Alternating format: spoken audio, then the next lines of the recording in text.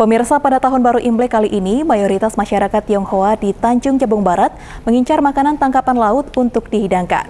Hal ini pun sudah menjadi tradisi pada saat tahun baru Imlek. Harga ikan bawal putih dan udang gogo pun melejit naik di pasaran pada perayaan tahun baru Imlek. Informasi ini sekaligus menutup perjumpaan kita kali ini. Pemirsa, saat ini Jack TV sudah beralih ke siaran digital dan Jack TV dapat dinikmati menggunakan televisi lama dengan menambahkan set-top box. Berita Jack TV juga dapat diakses melalui kanal YouTube resmi Jack TV. Akhir kata saya Rinda Udina pamit undur diri, tetap jaga protokol kesehatan. Selamat siang, selamat beraktivitas Jack TV, inspirasi kita. Sudah menjadi tradisi bagi masyarakat Tionghoa ketika tahun baru Imlek yang tidak pernah luput untuk selalu dihidangkan yakni jenis makanan tangkapan laut seperti ikan bawal putih dan udang gogo. Dua jenis tangkapan laut ini pun menjadi incaran sehingga laris manis di pasaran, bahkan harganya pun turut melejit naik dari harga biasanya. Salah seorang pedagang di Pasar Tanggo Rajo Ilir, Mulyadi mengatakan bahwa pada momen tahun baru Imlek, sejumlah masyarakat Chinese memang kerap memburu tangkapan laut untuk menu santapan yang akan dihidangkan.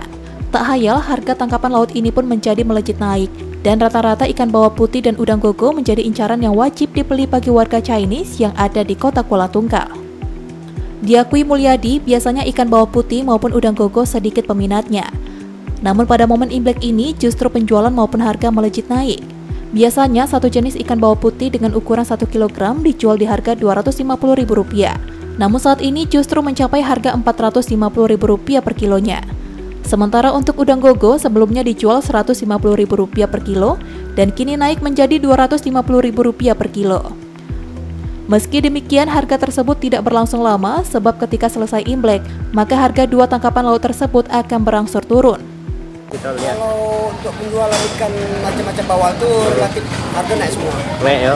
Tapi juga kadang ini nelayan harga ikan naik, ikannya kurang. Hmm. Nah, kalau dari tahun ke tahun seperti itu. Memang. Seperti apa be kalau Cino biasa cari bang kalau ikan Kalau Cina tangkapan laut? Enggak lepas dari ikan bawal. Bawal ya. Kepiting, Uh-huh. udang agogo. Uh-huh. Nah itulah dia. Berapa bang kalau sekarang naik ya kalau dekat-dekat Imlek Kalau ini? bawal bawal putih itu yang mau ukuran itu mau 400 500 an. Tuh dia yang cari harga-harga mahal ya. itu. Uh, Kalau udang mau 200 an. 200-an ya. Hal senada juga dikatakan Henry.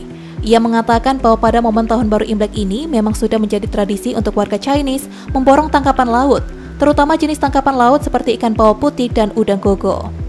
Peminatnya banyak, cuma yang harga Imlek karena ini 600 ribu per kilo.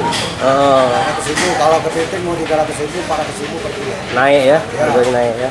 Tapi kalau untuk barang lokal itu murah. Murah ya. Murah, kalau Imlek ini kan Berarti kalau Imlek ini Cino ini rata-rata ikan kayak mana bang yang tadi? ya? diri, kepiting, Heeh. nah, Tangkapan laut. itu ikan bebe, bawal DC, eh, pokoknya jenis bawal lah. Heeh. Nah, cumi-cumi, uh. ciput. Berarti Gogo, eh, apa pun pedagang pun agak rame lah stok itu itu itu bang ya. Enggak juga ya. Enggak juga, sepi juga. Surya Kurniawan, Jack TV, melaporkan.